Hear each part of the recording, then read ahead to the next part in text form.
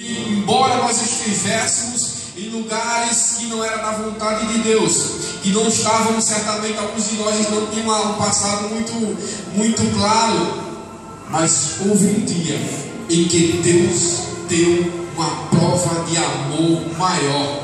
E Jesus disse que maior prova de amor não há do que aquele que dá a vida para os seus amigos.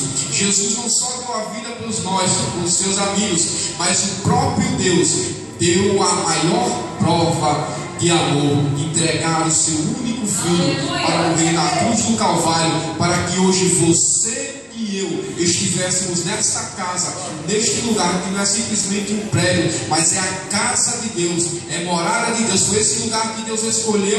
Ele foi lá no lugar onde você não podia ir, salvou, deu o banho da sua graça, da sua glória, renovou as suas forças, a sua fé, a sua esperança, te trouxe para a casa dele e não te deixou somente aqui, mas ele adornou você com dons. Então, como prova de agradecimento pela salvação, Continue dando prova de que ama Ele, continue agradecendo a Ele. Bata no peito e diga: Deus, eu te amo, Deus, porque o Senhor me tirou do lugar que eu não podia sair. O Senhor mudou a história da minha vida. Ei, quero te trazer a memória antes de pregar. Isso não é pregação, isso é apenas refresco para a tua alma. Depois vai vir a palavra pregada. Mas eu queria trazer a tua memória nesta noite a situação que você estava vivendo no passado e a situação que você está vivendo hoje.